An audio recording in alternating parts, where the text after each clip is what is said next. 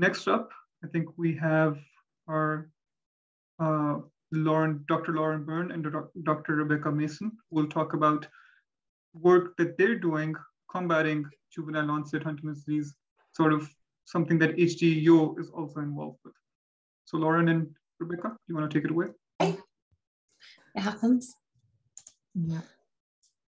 Everybody, um, I shall start sharing on screen, but um, while I do that, I want to say a huge thank you to Cheryl um, and Megan. Um, we have the privilege of working with Cheryl in our family advisory group for this initiative that we're about to tell you about. Um, and I can honestly say Megan in, is still providing a lot to the, the HD community um, and Cheryl. So um, it's amazing to, to have her to, to present. Um, can I check everyone can see my screen? Great. Yeah. Cool. So I'm Dr. Lauren Byrne. I am I'm part of HDYO as a board member. Um, and I'm uh, a researcher, HD researcher at the University College London. I'm also a HD family member. Um, and we have been working very hard on a new initiative for juvenile onset Huntington's disease called Join HD. Um, and I'm joined with our um, wonderful study coordinator, Dr. Rebecca Mason, who will join me um, and take over halfway through the talk. So let's get going. Um, so HDYO have always been have been supporting young people impacted by Huntington's disease for uh, 10 years now. It's our 10 year um, uh, 10 year anniversary. Um, and it's it's been very uh, passionate thing to be able to support, educate, and empower young people. Um, and Join HD is no no different from any of, of anything else we do. Um, we all know, uh, I've heard of Huntington's chorea and the idea that there's this movement disorder, um, chorea being this jerky dance-like movements. Um, and you heard from from Cheryl's story about how people often get mistakenly um, described as drunk. Um, but we know now that it's Huntington's disease, is there's so much more to it.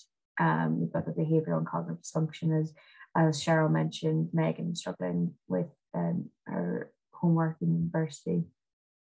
So the Huntington's gene, I wanted to talk about the discovery of the Huntington's gene, itself as it, um, highlights an important thing about the HD community and is this very collaborative aspect of, about it. Um, back in um, 1993, uh, led by Nancy Wexler, um, there was a, a, a, huge team of efforts that helped discover the gene. And this was 58 scientists across the globe and over 12,000 army members to discover this single gene that causes Huntington's disease. Um, and why this is so important, it, it's why we call Huntington's disease the most curable, incurable brain disease, because we know what causes every case of Huntington's disease. It's um, more than we can say than a lot of other um, brain diseases like Alzheimer's and Parkinson's. Every case of Huntington's disease is caused by this um, expansion of CAG repeats in the Huntington gene.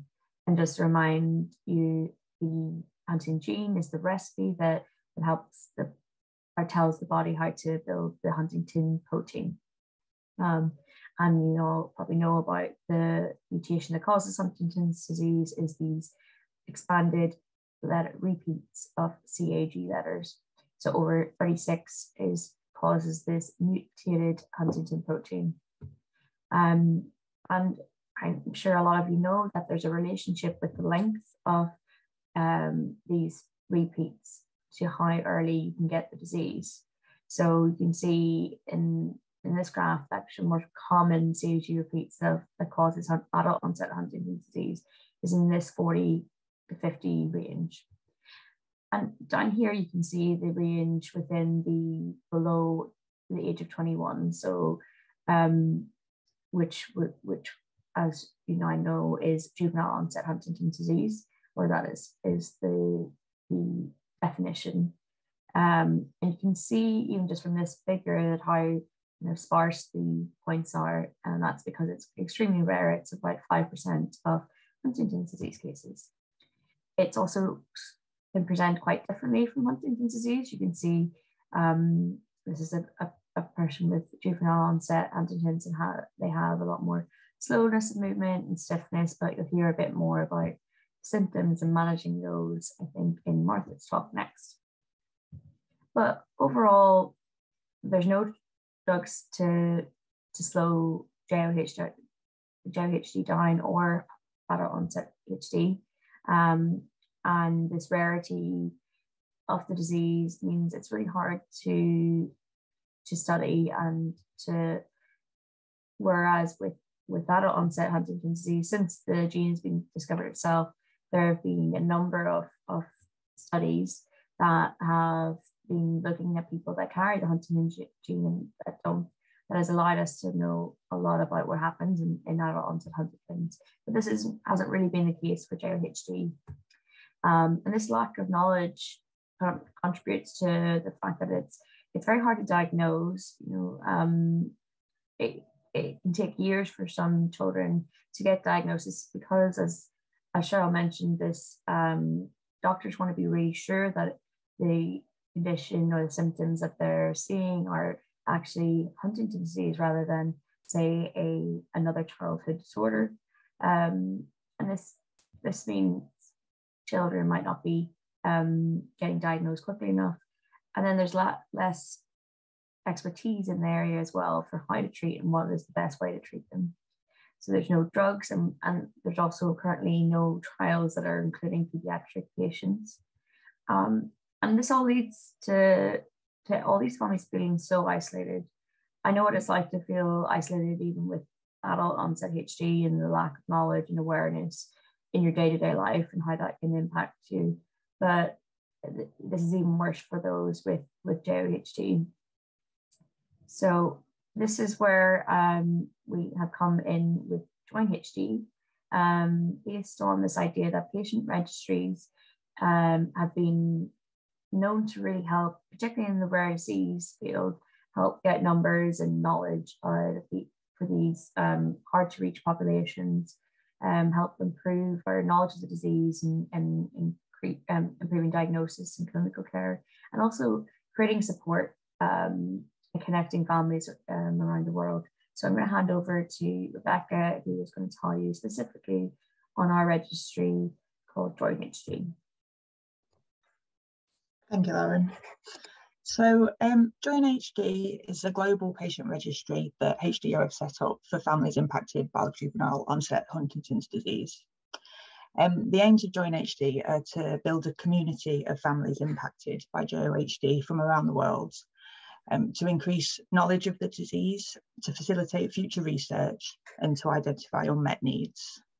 So with JOHD being so rare, um, we hope that creating this global registry is going to allow us to recruit large enough numbers to collect meaningful information about the disease and to assist in the running of um, future research and future drug trials.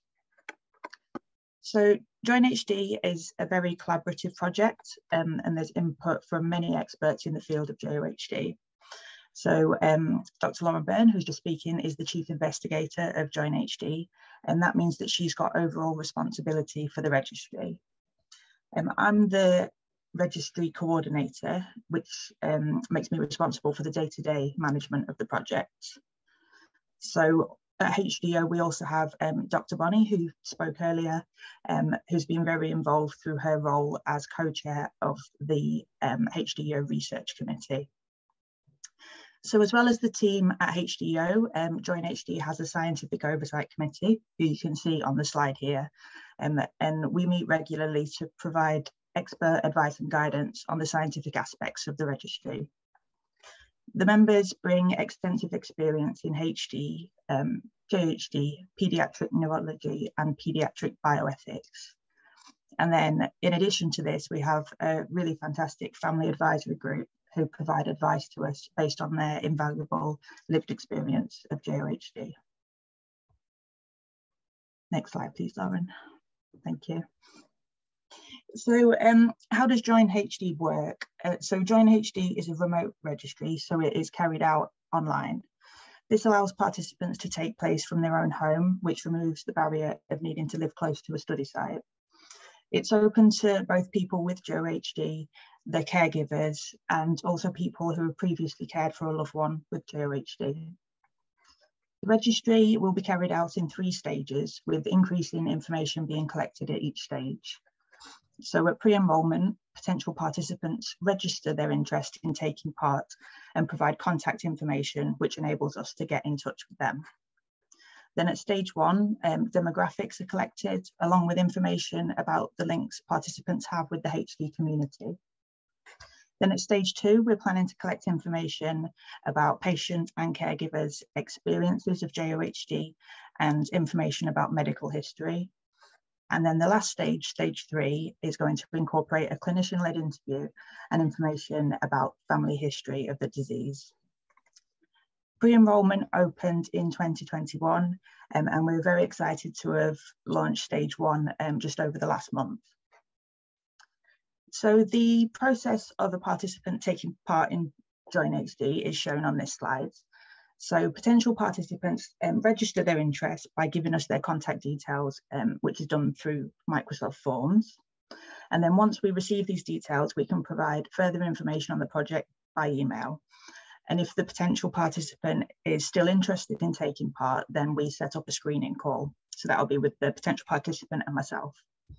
So in this call, um, I'll explain the project in more details, confirm eligibility and answer any questions that participants will have. Following this call, um, the participant would then receive the information that they need to self-enroll on the Join HD website and complete their stage one questionnaires. And then when further stages of Join HD become available, so stage two and stage three, or any other research opportunities for JHD come up, um, we'll would get back in touch with participants to see if they're interested in taking part in these opportunities. Um, so as I said, um, the pre-registration is done using Microsoft Forms, uh, which is shown in the middle of this slide here. The form can be accessed through um, lots of different routes. So the, on the HDYO website, we've got a page about Join HD, so the link is on there. Um, we have different promotional materials that contain this QR code, so that can be scanned. We've got a booth here um, this weekend that contains links to get onto the pre-registration form, um, and then direct links in places like our email signatures. So um, as I said a little earlier, with the rarity of JOHD, we really hope that the global nature of this project will allow us to recruit large enough numbers to really make a difference. Um, therefore, it's really important for us to enrol as many eligible families as we can to make the registry and the project a success.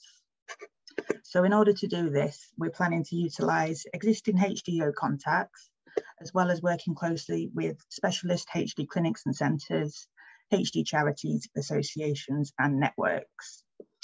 Um, we're also going to inform people of the registry through websites and social media, support groups, and hopefully by word of mouth. We um, really hope that people who do take part will tell anyone that they know who might be eligible about it. And through those different avenues, we want to make as many people aware of the project as we can.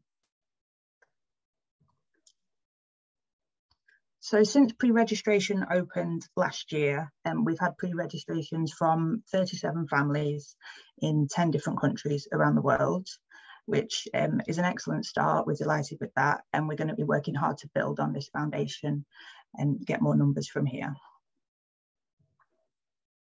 And then since stage one opened last month, so we've got 12 participants currently enrolled, um, and this is an ongoing process with more participants being enrolled each week. So of those currently taking part, you can see on this slide, we've um, got quite an even split of patients, caregivers and previous caregivers. Um, and we've enrolled participants from the United States, Scotland and Ukraine so far. The gender split of patients has been quite evenly balanced so far, um, and caregivers has been predominantly female, but these are very early figures and you know, I just like to give a taste of where we're at at the moment. Okay, so um, that's where we are up to, um, and we'd really encourage you to take part in the project if you're eligible or if you know any families um, who could be or different different ways of getting the word out there. We'd really appreciate if you could do that or let us know ideas. Um, yeah a lot of this is about getting information out to as many people as we can. Uh, if anyone has any questions i welcome them to email me and my email is rebecca at hdyo.org and i'll pass back over to lauren um, sorry, I'm very bad at, at timing side transitions for you, Rebecca. Um, uh, just last, we'd like to thank everybody, particularly your um, the Family Advisory Group and the Scientific Oversight Committee um, and our sponsors who are, are making this possible. Um, we are, and particularly the, the families of JOHD, uh, who we are hoping to do this for, um, and all the HDYO staff and volunteers. Special thanks to Kat Mark Martin, who was really um, uh, instrumental in getting this off the ground and who came up with the original idea for this. And um, for anybody if of the professional side of things, you're seeing patients, please do get in touch with us if you want any materials to share. Um, and we can provide those. Um, and we will take any questions. All right, thank you for the wonderful talk. Um, there's a question. Oh, it just says Dr. Mason is quite knowledgeable, which I definitely agree with. Thank you. yeah. um, there was a question. Yeah, there was a question in the chat asking for the registry site, but I think Haley has answered that as well. So I noticed there was a quite a bit of spread in terms of countries. Are there more people reaching out since you last checked? What's the global scope? So um, in terms of the pre-registration, so we've got people from um, the US and Brazil, Scotland, England, France, the Netherlands, Ukraine, India, Pakistan, and Russia. So they're, they're all the ones, people who have been in touch with us so far to express their interest. And a lot of the work we're going to be doing over the next few months is um, targeting the different countries through their local HD associations and yeah, trying to get into as many countries as we can. We really want this to be um, a global project, and I think for it to make a big difference, that's that's what we need to do. So that is our goal. Nice. Important so to probably comment that we are focusing on English first. Um, so there's going to be a bias towards English countries, but we have full plans to translate this to, at the very least, Spanish and um, Portuguese and work with um, other communities in the area. Um, I've been in touch with Factor-H as well to go into South America and, and really get help from, from that part of the world. Um, but yeah, I think we're seeing the most of the signups have been coming from the US and the UK, which makes sense because that's where we've been the most active, I think, on on social and that. So we're really hoping we can um, iteratively get this kind of into all the more more accessible to other countries. Yeah. So any plans to translate the registry or are you going to lean on more the country associations to do that? Um, so we will, but it will be in a tiered kind of process because of resources basically. Yeah. So it's just um, I think for stage one it'll be pretty easy to do because it's not um, a lot to translate. Um, but the thing is we need help with translator to do the screening call if, if someone struggles with English. So it's just some some practical things that we need to work out, but we are fully fully um, intend to do as many languages as we can. Um, All right, I'll check the chat. I don't think there's any other question. There's an offer to help with translations into Spanish. So maybe please get in touch with us. Yeah. yeah. I think uh, Rebecca's email is in the chat already, so reach out to her. But thank you Thank you again. It's a great initiative. I think it's much needed as well. Uh, JHD is pretty overlooked. Yeah, I, I was at um, the CHDI Therapeutics Conference last week and presented uh, Join HD, and it was great to see how much of the professional community as well getting behind it. So we're hoping to have more interactions with them forward that will help with all the recruitment rollouts. Yep, sounds good. All right. Thank you, Dr. Mason and Dr. Byrne for giving an overview of Join HD.